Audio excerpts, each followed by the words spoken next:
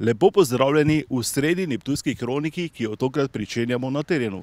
Po torkovih obilnih deževnih padavinah so vode poplavile ceste, objekte in sprožili so se tudi številni zemljski plazovi. Za oceno smo poprosili poveljnika civilne zaščite spodnjega podravja Dragomirja Murka.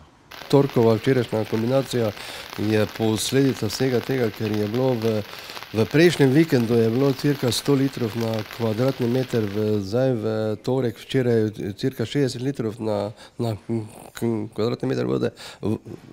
In je to posledično bil vsa teren razmočen, podtalnica se je dvignila, prav tako vsi potoki in potem pride ta kombinacija, ki ki pride do razlivanja vseh vseh teh vod, ki so bile mišljene ali pa so namenjene, da se stekajo v v te potoke.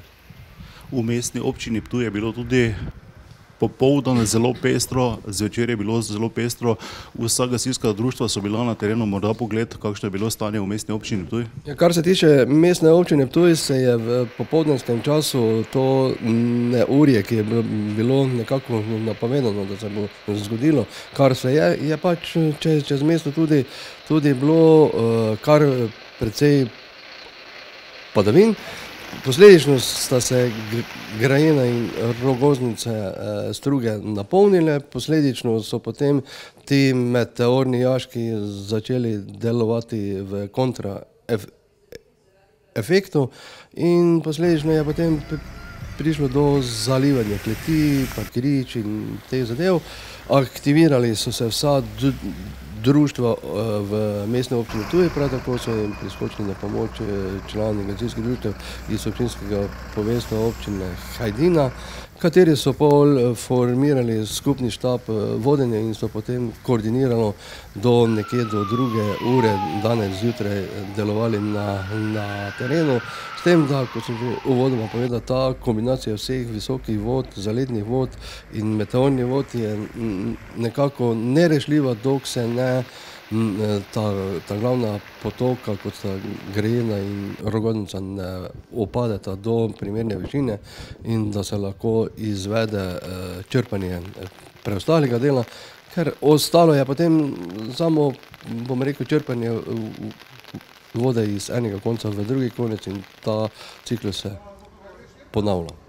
Še pogled na celotno spodnje Podravje, najtežje, najhuje v Halozah? Je pač situacija prinesla, da je bilo v vseh devetnajstih občinah, da ni zaselka, ki ni utrpel poškodb ali na infrastrukturi ali poškodb v stanovanjskih zalivanjih teh meteornih vod ali bilo česa drugega. Gasilci vseh naših občin so bili na terenu, prav tako koncesionarji, občani. Mislim, da je bilo včeraj, moram tu pohvaliti občane, ki so se zelo samozaščitniško obnašali, pa tudi so silam zaščite in reševanja pristopili v v pomoč. Je pa res, da še je zdaj je treba paziti na plazove, visoka trava še je in to se na teh malih hribčkih ali pa malo višjih tudi še ne ne vidi. Treba je počakati, da se voda izcedi, treba pogledati še malo teren, ker lahko se še zdaj dva, tri dni še bo to trajalo, da se bo videlo točno posledice teh neurij, ki smo imeli, bom rekel, v v treh delih.